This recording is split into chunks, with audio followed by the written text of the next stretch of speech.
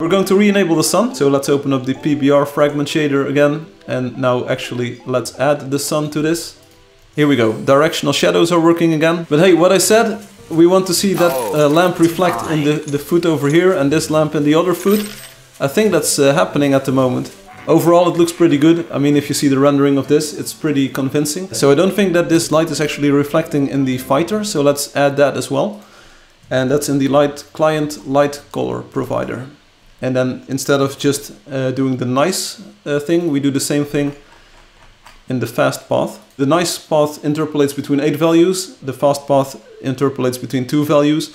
But this code is just looking up one, and we already have the sample position, we already know our coordinate, so we can just copy over that code. This is actually the lantern right next to him. And just look at the way that the light falls on him. Check it out, it looks like he's actually standing there. Like the shading on his face, it's so good. 27 files changed, we can quickly just, uh, just like skim the changes that we did. So the cell coordinates, we changed these because we uh, wanted to have an is zero convenience method for making sure that we don't get empty uh, light origin values.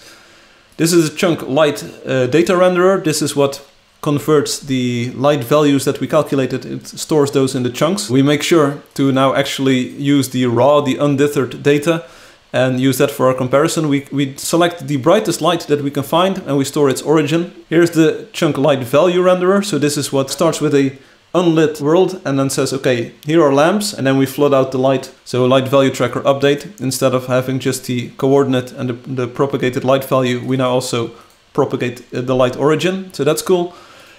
Uh, next up, this is the chunk rendering thread. So this is what actually takes the chunks and uh, renders them to the uh, render buffers that we can show on screen. So this is done in the background. We render the chunks in the background. We display them interactively. So we made data structures here for the light origins array. In the cell data provider, we added the possibility to query light origin information. In the client chunks, we added storage for the light hole uh, origins. So uh, there's a light hole around each chunk, like it's only the planes on the sides of the chunk so that we can leak this data outwards.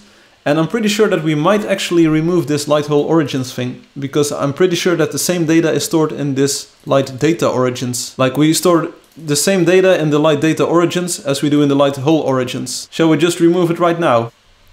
If we rename this back to light values and we rename this light origins. So let's rename this light values. Let's remove the const. So this is actually the same function again. So we're, we're now trying to reduce the diff here. Get light origins, okay. So this entire file now disappears from the uh, version history thing because it's actually the same as it was on disk. Try to make the code do what you want and then you just reduce the entire diff based on uh, what you've learned. Light origins set and then the whole gone of course, we still need to check that it works. Check it out, there's a red reflection in This MOA, check it out, it's being lit from the bottom, check it out. It looks like a horror movie. Dun dun dun, lit from below, dun dun dun. So let's review the diff some more, because it's easy to get lost in the visuals. We were at the client chunk, so uh, we only added the light origins. It is a bit of a hefty data structure. Instead of like uh, using a cell coordinate, we can use a truncated version of that, because a light half the map away will never affect like uh, nearby cells. So maybe we should make a short coordinate uh, kind of thing if this turns out to be a bottleneck during execution. Vertex shader, we added the lighting direction. That's cool, lighting direction. And here the buffer lighting direction, we just pass it over to the fragment shader. That's entirely correct.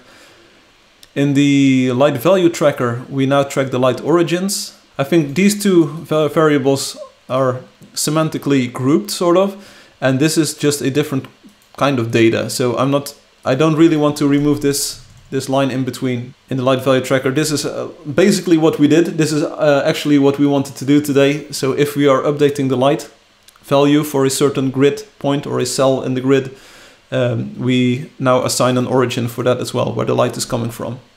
So that's looking good. And model vertices, so this is what gets rendered by the game engine. Model vertices now have the lighting direction as well. The fragment shader, we did change um, like the name of the radiance scalar. We should actually introduce one here. And we scale the PBR of the uh, lights, and then we use the constant of 16 for that. In the render buffer, we now set the lighting direction from the model vertices to the render vertices, so that's kind of like our in-between shuffling uh, stage. The OpenGL render engine now has one more attribute because it has to pass the lighting direction. In the state manager, the OpenGL state manager, we now uh, fill the buffer lighting direction vertex properties. So that's going to the vertex shader. And then in the render vertices here you can see that our data layout has changed. We now add a int range vector for lighting direction.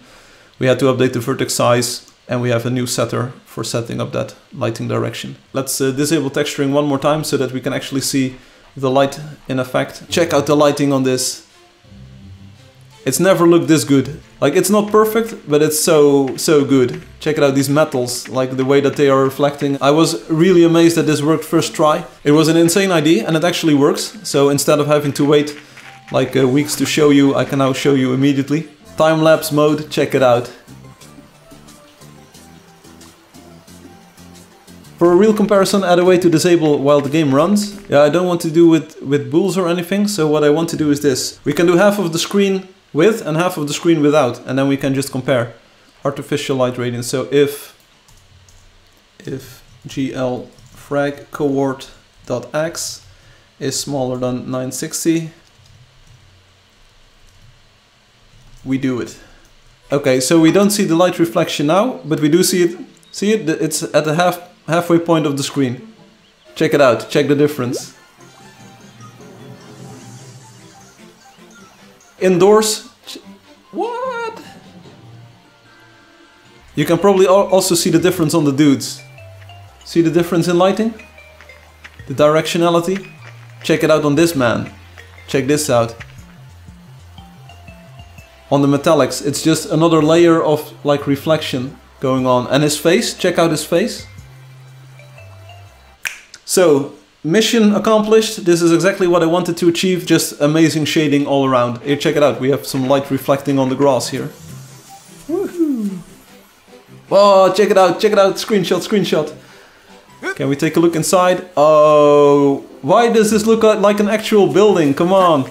I mean, this looks like, check out the plant pot. Whoa, did do you, what? See, did you see the lights turn on there? What? What? Did you, what? Oh man, this is so good. This is so good.